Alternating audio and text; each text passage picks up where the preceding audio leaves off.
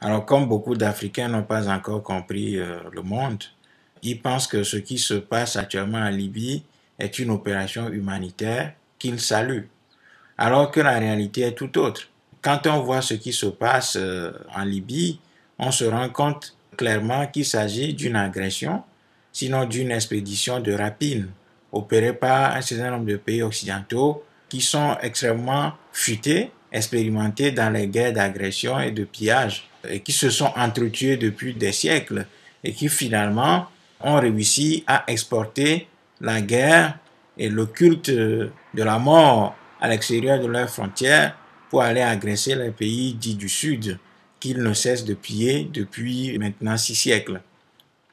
Alors, comme euh, beaucoup d'Africains ne comprennent pas le monde tel qu'il fonctionne et qu'ils ne lisent pas l'histoire de leur propre chef, de sorte à apprécier les événements de façon autonome, ils continuent d'avaler hein, de façon gloutonne la propagande occidentale euh, pro-guerre qui nous fait croire que Kadhafi était en train de massacrer son peuple et que pour cela, il fallait une intervention humanitaire pour aller sauver les pauvres populations qui sont en train d'être massacrées par Kadhafi. C'est totalement affligeant. C'est affligeant dans la mesure où ces Africains qui cautionnent, qui applaudissent cette intervention,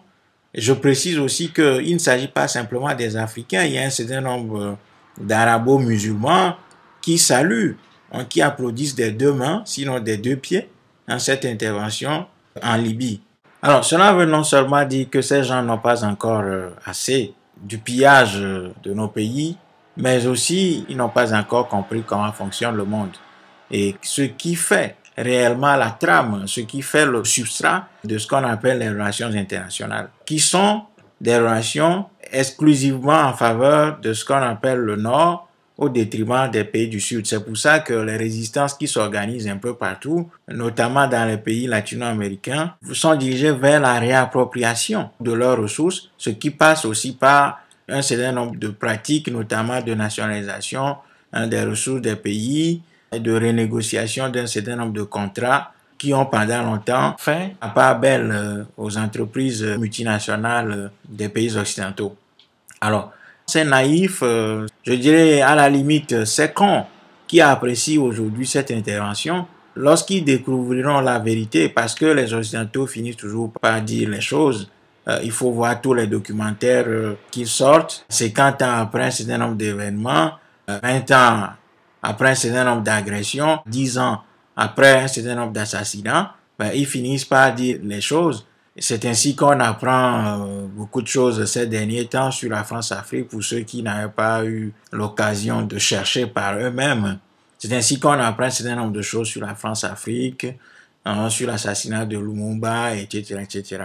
Alors, lorsque ces gens-là découvriront la vérité avec un certain nombre de documentaires qui seront faits ou euh, un certain nombre de livres qui vont paraître bientôt, ben, ils seront doublement déçus parce qu'ils se seront fait avoir, mais aussi ils ont apporté leur caution à une agression qui aura profité, une fois encore, largement aux multinationales et aux sociétés transnationales du Nord, des pays occidentaux notamment. Ce qui en définitive signifie que ces Africains auront contribué à priver euh, leur territoire, leur continent de ressources pour sa renaissance et ainsi, ils auront contribué à consolider la colonisation et la néocolonisation de notre continent.